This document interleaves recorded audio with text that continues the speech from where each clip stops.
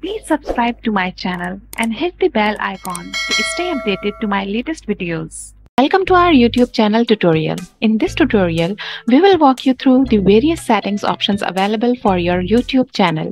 Let's get started. So first of all, log into your YouTube channel and on the dashboard in the left sidebar, click on settings. Now on this page, you will see first option, channel status and features. Click on it. Now a settings dialog box will be open in front of you.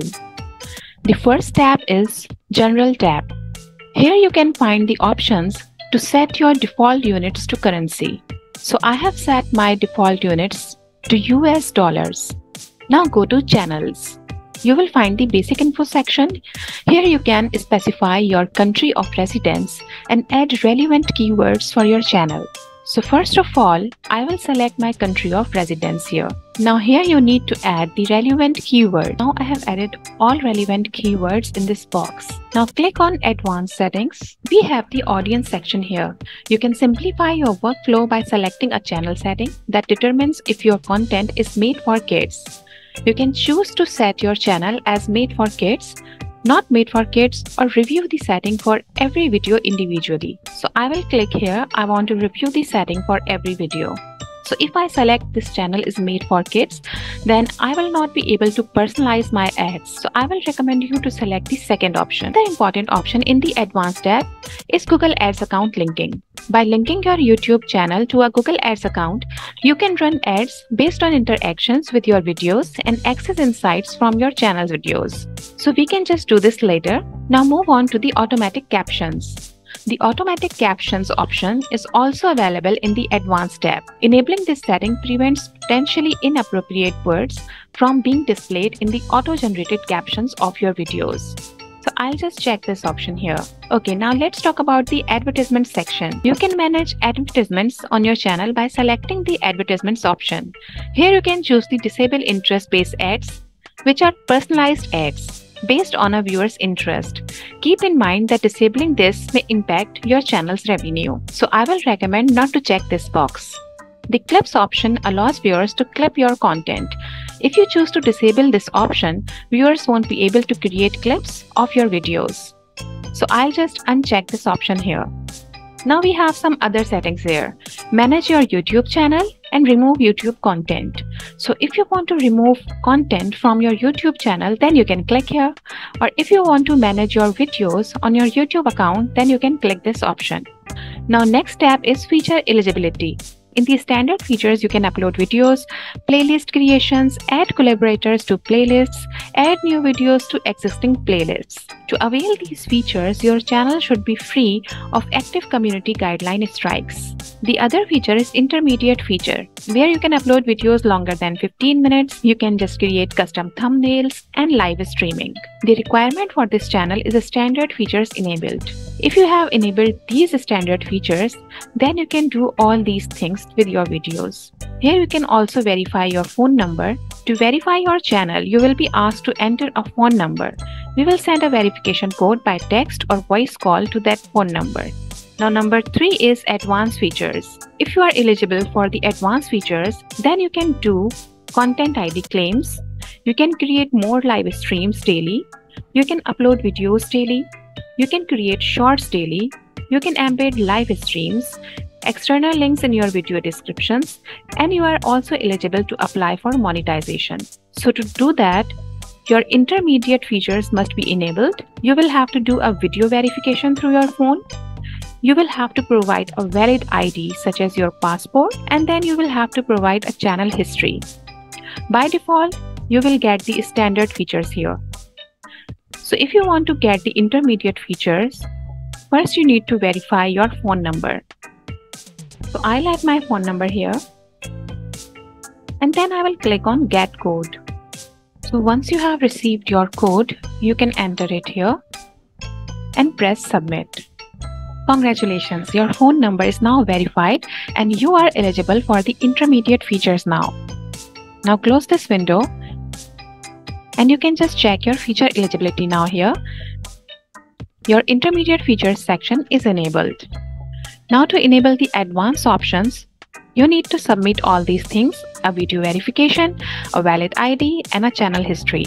So you can just do this later. Now click on upload defaults. Here you can set default information such as the title, description, visibility and text for your uploaded videos. So if you want to add a title, a description, and some text by default to your videos, then you can just add them here. So I'll just leave the title and description empty because I want to customize my titles and descriptions individually for each video. Here I can just select the visibility because I want to make all my videos public by default and I will add some titles which are relevant to my channel which I want to add to my all videos by default. So now I have added some relevant keywords here. Now you can click on advanced settings. Here you can enable automatic chapters and key moments for your videos to improve navigation. You can also specify the license, category, language and caption certifications for your videos here. So I will select standard YouTube license from here. You can select a category of your channel. I will select entertainment you can select a language of your channel from here. So I will select English from here. You can select any caption certification. If your content appeared on US television. Now here you have the comments section. Here you can just select whether you want to allow all comments, whether you want to hold potentially inappropriate comments for your review, or you want to increase the strictness, or whether you want to hold all comments for your review or you want to disable the comments. So I will select the second option, hold potentially inappropriate comments for review. If you want to show how many viewers like this video, then you can just check this box. Otherwise, you can just uncheck it. So I will just check this box here. Now click on permissions. So if you have a brand account, you can choose to keep managing permissions in your brand account or move permissions to YouTube Studio. You can assign different roles such as owner, manager, editor, and viewer to members of your team. So if I click on manage permissions here, then you will get this page here where you will get all your brand account details and you can manage your user permissions from here. So to access the permissions page, you will have to log into your account again to verify and then you will click on manage permissions here here you can just see I am the primary owner of my account and if I want to add any other roles or users then I can just click on this button over here and if I want to add other users then I will just click on this invite new users button on the top. And then I will just add the email address. I will just choose a role from here, whether he's an owner or manager, and then I will click on invite. So you can just do it later when you will just do your branding, when you will just create the advertisements or campaigns, or you want to assign different roles to different users, then you can just do this from here. Then I will just click on community. So in this section, you can just manage your moderators you will just paste a channel URL of a user to add a managing moderator here. And what are the managing moderators? These users have the same capabilities as standard moderators, but in addition, they can manage blocked words and change chat modes in live. Then you have the standard moderators section. Who are the standard moderators? These moderators can remove comments which will appear in your Held for review page and can also moderate your live chat messages. You can just paste a channel URL for a user to add as a standard moderator here. Then you have approved users.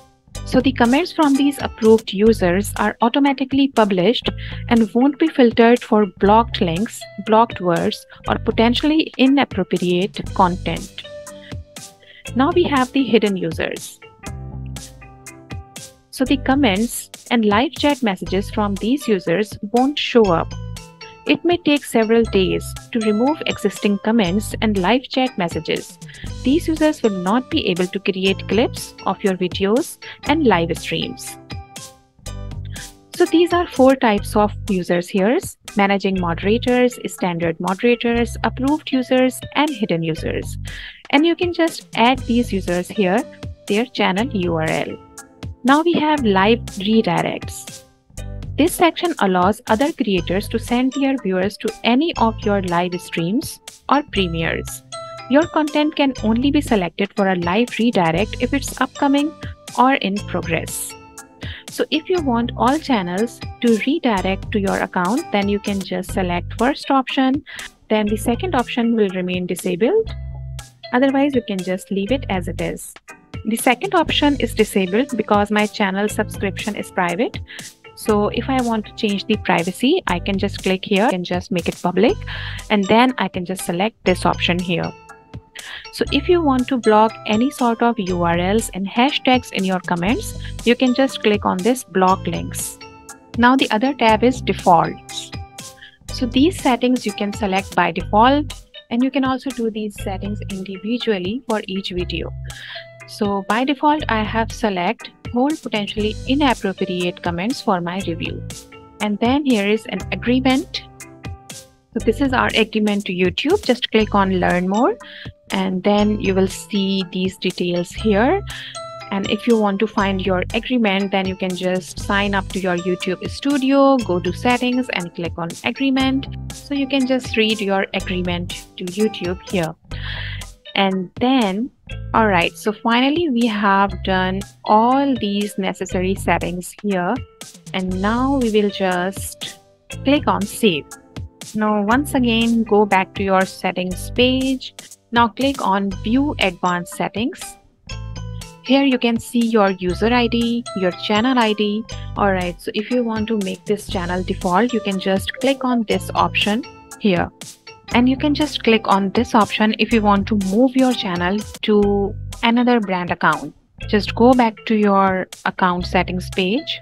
Here you have the channel managers setting you can add or remove your channel managers from here as well. You will get the same permissions page from here. Alright, so if you want to change your Google account settings, then you can just click on this link here. You can change the logo from here. If you want to select an image from your computer, then you can just select it from here. Or if you want to select any illustration, then you can select the illustration from here. Now click on next and save as profile picture. As you can see, your Google account picture has been updated here. You can just set these personal info as well. So if you want to change this name, you can just change it from here. Now click on save and your Google account name has been updated. So YouTube has also provided you an email address where people can contact you. If you want to add other contact informations, then you can just also add your email, your phone number, your address, your chat username here as well. So I will just add a chat username here that anyone can see and I will just save it here. So this is my chat username. Or if you want to add more about then you can just click here add more about you. If you have a website you can add a link here. You can add any link here of your facebook page your any other account. You can add your profile link here maybe your linkedin profile. You can add a contributor link here. Or you can also add an introduction here as well so this will be all about yourself. You can just come here anytime and add the about me information here.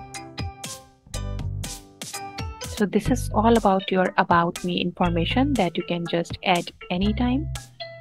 So these are the minor settings or the basic settings that I have told you. So that concludes our YouTube channel tutorial on the various setting options available.